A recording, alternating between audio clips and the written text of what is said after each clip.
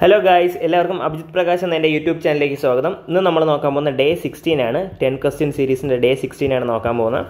Okay നമ്മൾ ancient ഇന്ത്യയുടെ questions ആണ് നോക്കിക്കൊണ്ടിരുന്നത്. നമ്മൾ കുറേ ക്വസ്റ്റ്യൻ ഇപ്പോൾ നൂറ്റി അമ്പതോളം ക്വസ്റ്റ്യൻസ് നമ്മൾ നോക്കിക്കഴിഞ്ഞു നമ്മൾ ബാക്കിയുള്ള ക്വസ്റ്റ്യൻസും നോക്കും. ആയിരത്തി തൊള്ളായിരത്തി എഴുപത്തി ഒമ്പത് വരെയുള്ള ക്വസ്റ്റ്യൻസാണ് നമ്മൾ നോക്കുന്നത് ബേസിക്കലി ഓക്കെ അപ്പോൾ ഈ ഒരു സീരീസിന്റെ കൂടുതൽ ഡീറ്റെയിൽസ് അറിയാൻ വേണ്ടി നിങ്ങൾ എന്ത് ചെയ്യുക? ഡേ വണ്ണിന്റെ വീഡിയോ ഒന്ന് കണ്ടു വെക്കുക ആദ്യമായിട്ടാണ് കാണുന്നതെങ്കിൽ അതിൽ ആദ്യത്തെ ഒരു മൂന്ന് നാല് മിനിറ്റ് ഞാൻ ഡീറ്റെയിൽ ആയിട്ട് പറയുന്നുണ്ട് എന്താണ് ഈ സീരീസ് എന്നൊക്കെ ഉള്ളത്.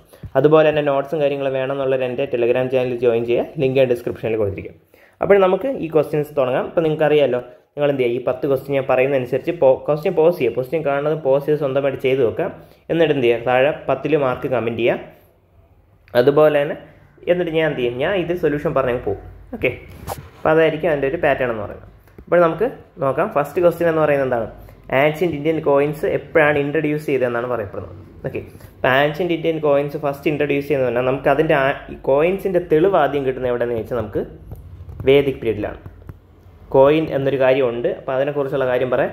പക്ഷേ നമുക്ക് എവിഡൻസ് എന്ന് പറയുമ്പോൾ നമുക്ക് ഹിസ്റ്ററിക്കലി രണ്ട് എവിഡൻസ് ഉണ്ട് ഒന്ന് ബുക്കിഷ് എവിഡൻസും ഇൻസ്ക്രിപ്ഷൻ അതുപോലെയുള്ള ബുക്കിഷ് നോളജും പിന്നെ എന്താണ് ആർക്കിയോളജിക്കൽ എവിഡൻസ് പക്ഷേ വേദിക് പീരീഡിൽ ബുക്കിഷ് എവിഡൻസ് മാത്രമേ നമുക്ക് കിട്ടിയിട്ടുള്ളൂ. നിക്ഷ എന്ന് പറയുന്നത് കോയിൻ ആണെന്ന് ഒരു കാര്യം പറയുന്നുണ്ട് നിക്ഷ. ഓക്കെ പക്ഷേ ആർക്കിയോളജിക്കൽ എവിഡൻസ് ഒന്നും കിട്ടിയിട്ടില്ല. അതുകൊണ്ട് തന്നെ നമ്മൾ ആർക്കിയോളജിക്കലി നമുക്ക് ഫസ്റ്റ് കോയിന്റെ എവിഡൻസ് കിട്ടി നമുക്ക് അടുത്ത പിരീഡ് മഹാജനപദ പീരീഡിലാണ് അറുന്നൂറ് ബി സി മുതൽ ഫസ്റ്റ് സെഞ്ചുറി നൂറ് ബി സി വരെയുള്ള പീരീഡിന്റെ ഇടയ്ക്കാണ് ഫസ്റ്റ് സിൽവർ അല്ലെങ്കിൽ കോപ്പർ കോയിൻസ് ഒക്കെ നമുക്ക് കിട്ടിയത്. ഓക്കെ ഇത് നമ്മൾ പറയാനുള്ള പഞ്ച് മാർക്ക് സിൽവർ കോയിൻ എന്നാണ് പറയാനുള്ളത്. Okay punch mark silver coin അപ്പോൾ ഇത് കിട്ടിയപ്പോഴാണ് നൂറിനും അറുന്നൂറിന് നൂറ് ബി സിക്ക് ഇടയിലുള്ള സമയമാണ്. അപ്പോൾ അതുകൊണ്ട് തന്നെ നമുക്ക് ഈ സമയമാണ് ഇതിൽ ആപ്റ്റ് ആയിട്ടുള്ള ആൻസർ എന്ന് പറയാൻ പറ്റും. ഓക്കെ അപ്പോൾ ഇതാണ് ഇതിന്റെ ആൻസർ അടുത്ത രണ്ടാമത്തെ ക്വസ്റ്റ്യൻ നോക്ക്. ഇതിലെന്ന് പറയുന്നത് പ്രോപ്പർ സീക്വൻസിൽ അറേഞ്ച് ചെയ്യാമെന്നാണ് പറയുന്നത്.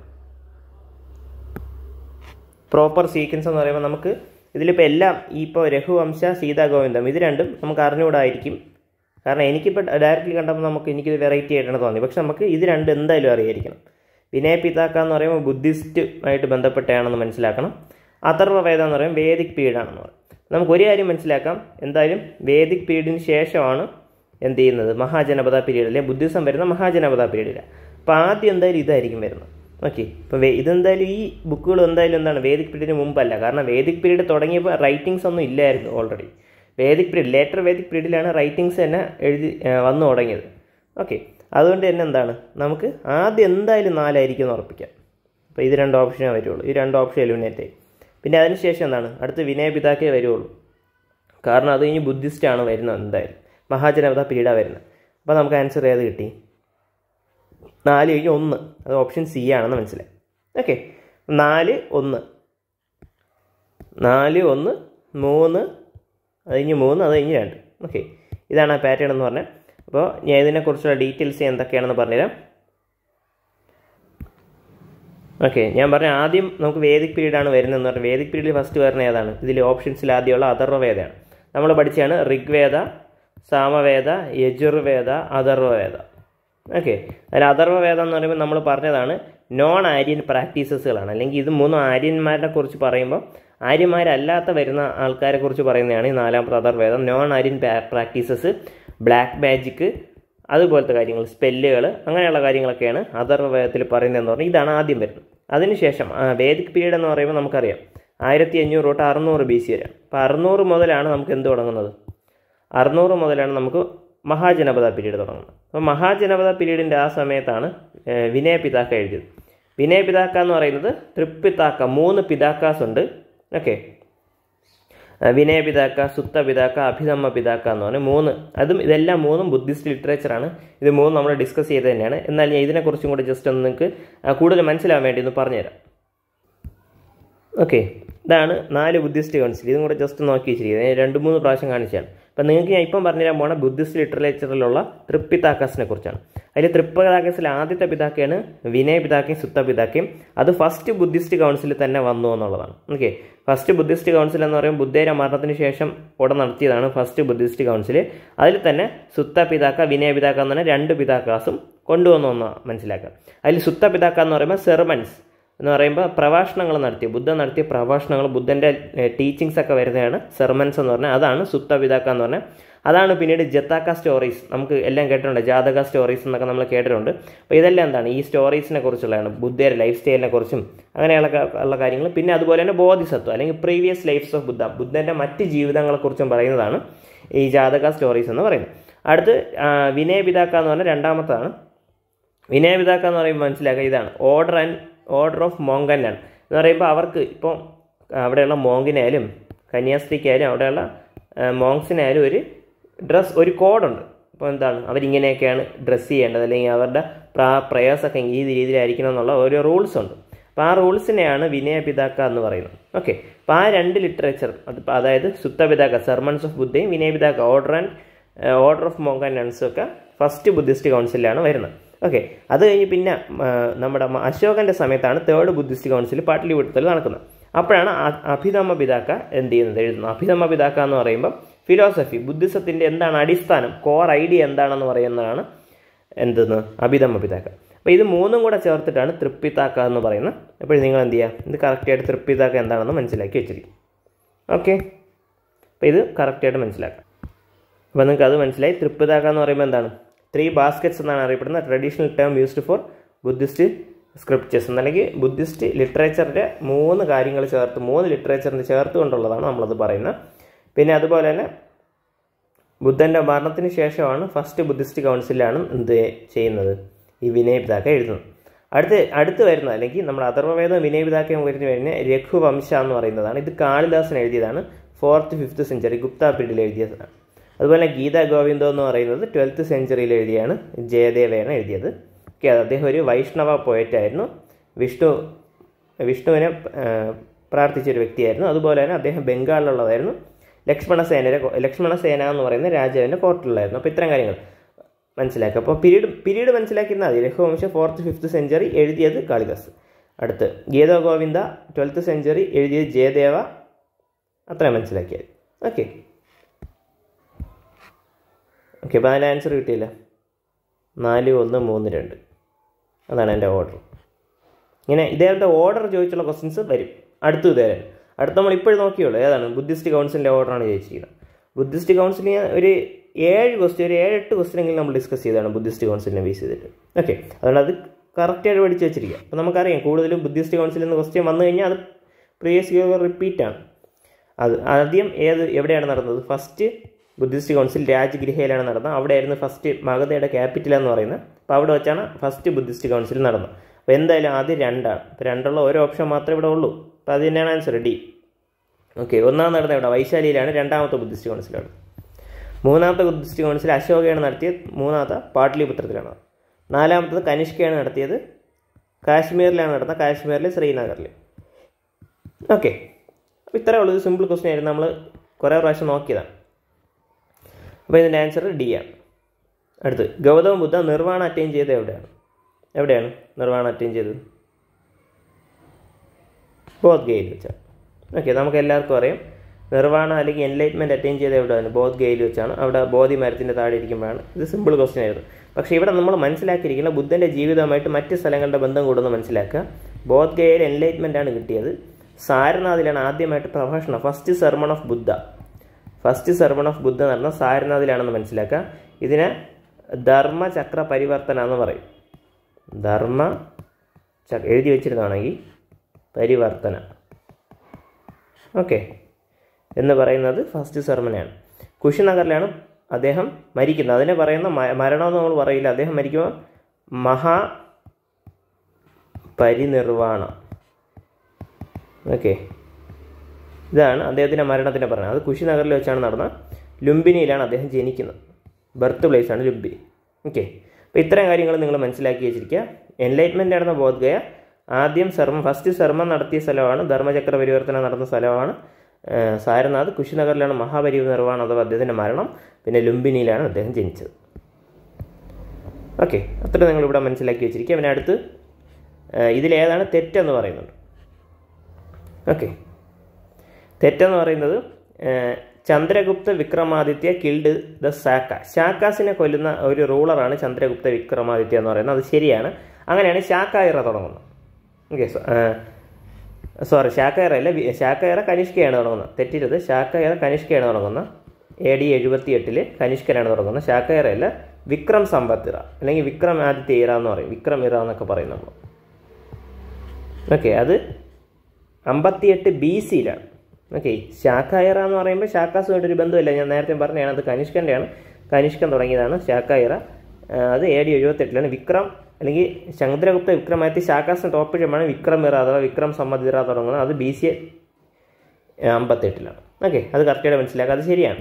രണ്ടാമത്തെ സ്റ്റേറ്റ്മെന്റ് എന്ന് പറഞ്ഞാൽ സമുദ്രഗുപ്തനാണ് ഇന്ത്യൻ നെപ്പോളിയൻ എന്നറിയപ്പെടുന്നത്. അതും ശരിയാണ്. സമുദ്രഗുപ്ത ഇഷ്ടം പോലെ എന്ത് ചെയ്യുന്നു? കീ- ഇഷ്ടം പോലെ സ്ഥലങ്ങൾ കീഴടക്കിയിട്ടുണ്ട്. അശോകം കഴിഞ്ഞ് കഴിഞ്ഞാൽ ഒരു വൺ ഓഫ് ദ ഫേമസ് ആയിട്ടുള്ള ആൻഷ്യന്റ് ഇന്ത്യയുടെ റൂളറാണ് സമുദ്രഗുപ്ത എന്ന് പറയുന്നത്. ഇഷ്ടംപോലെ സ്ഥലങ്ങൾ പിടിച്ചെടുത്തിട്ടുണ്ടെന്നുള്ളതാണ്. ഓക്കെ അതുപോലെ തന്നെ അദ്ദേഹത്തിനെ കുറിച്ചുള്ള ഇഷ്ടംപോലെ ഡീറ്റെയിൽസ് അതും അദ്ദേഹത്തിന്റെ കോൺക്വസ്റ്റുകൾ ഏതൊക്കെ സ്ഥലം പിടിച്ചെടുത്തിട്ടുള്ളതൊക്കെ അലഹബാദ് ഇൻസ്ക്രിപ്ഷനിലുണ്ട് അലഹബാദ് ഇൻസ്ക്രിപ്ഷനിലുണ്ട് ഇതിന് പ്രയാഗ് പ്രശസ്തി എന്നാണ് പറയുന്നത്. ഇത് ഞാൻ ഇഷ്ടംപോലെ പ്രാവശ്യം പറഞ്ഞതാണ് ഇവിടെ തന്നെ. പ്രയാഗ് പ്രശസ്തി.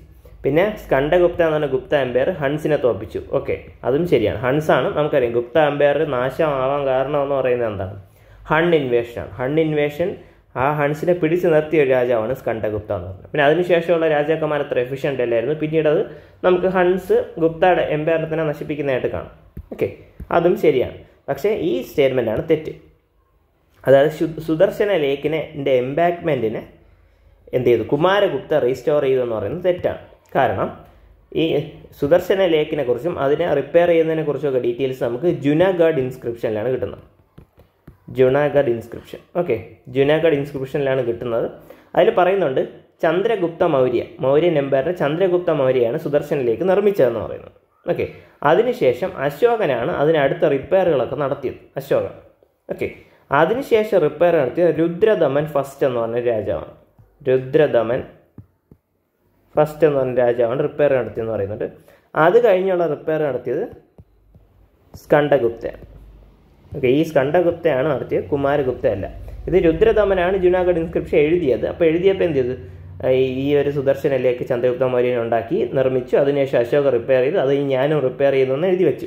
അടുത്ത സ്കണ്ഡഗുപ്തയുടെ സമയത്ത് അതിൽ കുറച്ച് എഡിഷൻസ് വരുത്തി ഞാൻ ഇതിനെ ഇപ്പോൾ റിപ്പയർ ചെയ്യുകയാണെന്ന് എഴുതി വെച്ചു. ഓക്കെ അപ്പോൾ ഇതിന്റെ ആൻസർ ഏതാണ്? ഡി ആണ് ഇതിന്റെ ആൻസർ അടുത്ത്. ഇതിലേതാണ് ബുദ്ധിസത്തിന്റെ കോൺട്രിബ്യൂഷൻ എന്ന് പറയുന്നത്. ആർട്ട് ആൻഡ് ലിറ്ററേച്ചറും ആർക്കിടെക്ചറും ഒക്കെ അതിനു മുമ്പ് ഇഷ്ടം പോലെ പേര് തന്നിട്ടുണ്ട്. അപ്പോൾ അതെന്തായാലും വരത്തില്ല. പിന്നെ വേദിക് പീരീഡിൽ റിച്വൽസ് നടന്നതുകൊണ്ടാണ് അതിന്റെ കാര്യം അത് നടന്നതുകൊണ്ടാണ് എന്ത് ചെയ്തത്? നമുക്ക് ബുദ്ധ ഇതിനെതിരായിട്ടാണ് ബുദ്ധിസവും ജൈനിസവും വന്നത്. അപ്പോൾ എന്തായാലും ഇതും വരില്ല. അപ്പോൾ answer ahimsa and self purification അഹിംസയും സ്വയം പ്യൂരിഫൈ ആയിട്ട് റൈറ്റ് ആക്ഷൻ നടത്തുക എന്നൊക്കെ പറയുന്ന ഏതിലാണ്? നമ്മുടെ ബുദ്ധിസത്തിൽ തന്നെയാണ്. കറക്റ്റായിട്ടുള്ള രീതിയിൽ എന്ത് ചെയ്യുക അതിലെ ധർമ്മ ധർമ്മ ധർമ്മ എന്ന് പറഞ്ഞ ഐഡിയയിൽ അവർ പറയുന്നത് എന്താണ്? കറക്റ്റായിട്ടുള്ള ആക്ഷൻ ചെയ്യുക എന്നുള്ളതാണ് ഓക്കെ അപ്പം ആൻസർ സി ആണ്.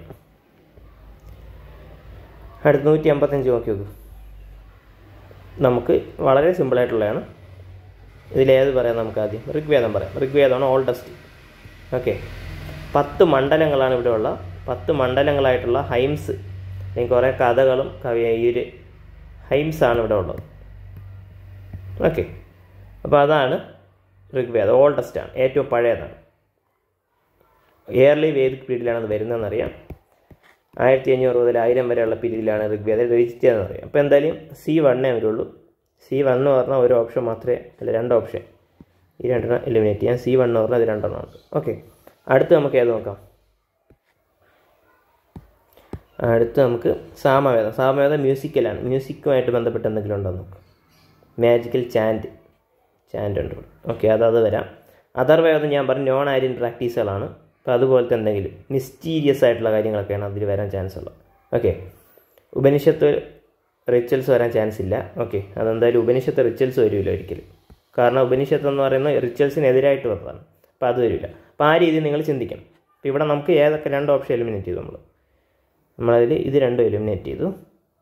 ഇപ്പം ഫസ്റ്റത്തെ ഉപനിഷത്ത് എന്ന് പറയുന്ന മൂന്ന് അല്ലെങ്കിൽ നാല്. എന്തായാലും റിച്ചൽ വരില്ല. അപ്പോൾ ഇതിൽ കൂടുതൽ ആപ്റ്റ് ആയിട്ടുള്ള ഇതാണ്. ഓക്കെ അപ്പോൾ നിങ്ങൾ എടുക്കുക എ മൂന്ന് എടുക്കുക. അപ്പോൾ അങ്ങനെയാണ് എത്താളം നമുക്ക് നമുക്കിപ്പോൾ എല്ലാത്തിനെ കുറിച്ച് എല്ലാം അറിയണമെന്നായിരിക്കില്ല. ചിലപ്പോൾ വാക്കൊക്കെ മാറ്റി മാറ്റി തരാം. അപ്പം നമുക്ക് എന്തറിയാമോ നമ്മൾ പഠിച്ച നാല് ഡെഫിനിഷൻ ഉണ്ട്. ഋഗ്വേദത്തിന് ഒരു ഡെഫിനിഷൻ ഉണ്ട്. അപ്പോൾ അത് മനസ്സിലാക്കി അതിന്റെ കോൺസെപ്റ്റ് മനസ്സിലാക്കിയിട്ട് അത് വെച്ചെടുത്താൽ ഒരിക്കലും ഉപനിഷത്ത് റിച്ചൽ വരില്ല കാരണം എന്ന് പറഞ്ഞാൽ എന്താണ്? അതിൽ അതിനെക്കുറിച്ചൊന്നും പറ അങ്ങനെയുള്ള കാര്യങ്ങളൊന്നും അല്ല പറയുന്നത്. റിച്വൽസിനെതിരായിട്ടുള്ള കാര്യങ്ങളാണ് പറയുന്നത്. അപ്പോൾ ആ ഒരു ഐഡിയ ഉണ്ടെങ്കിൽ എന്ത് ചെയ്യാം? നമുക്ക് ഒരിക്കലും ഇത് മൂന്ന് കൊടുക്കാൻ പറ്റില്ല അതായത് നാലും എടുക്കാൻ പറ്റില്ല മൂന്നേ കൊടുക്കാൻ പറ്റും. അപ്പോൾ നമുക്ക് സാമവേദം എന്ത് ചെയ്യുക നാലും കൊടുക്കുക റിച്വൽസ് കൊടുക്കുക ഓക്കെ.